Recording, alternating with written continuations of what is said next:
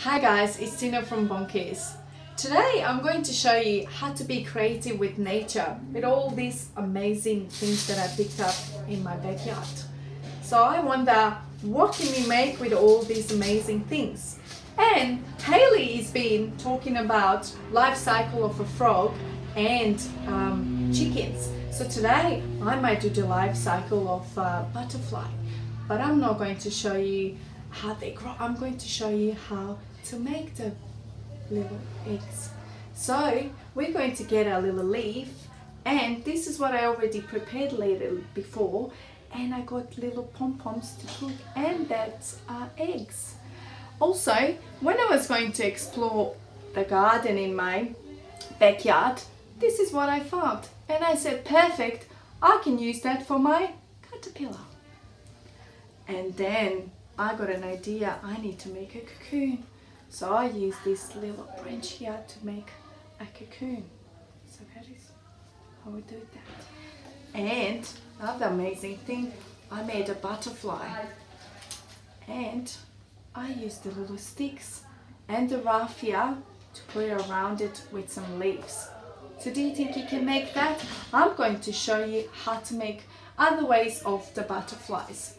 So I'm going to get some natural leaves that I also find in my backyard and the bark.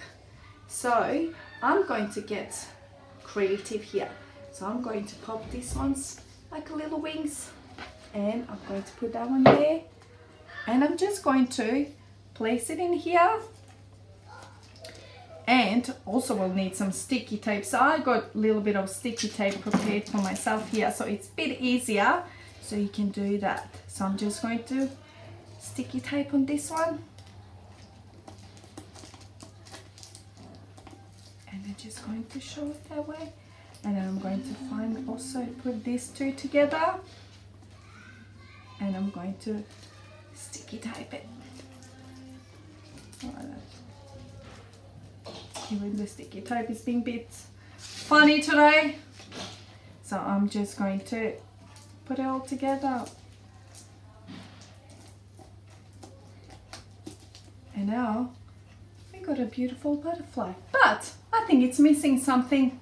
What do you think it's missing? Hmm, let's find out. So this is the other things I found in my backyard. So I got a little branch. So I'm just going to put it like this, break it in two. And I'm going to also use my little sticky tape that I already have prepared here and I'm going to sticky type the little antennas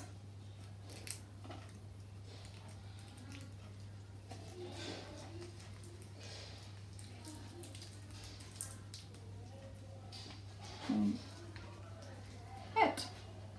we got a little butterfly. You also need some eyes but you can use a texta to draw some eyes or you can even made it with something. What do you think you can do?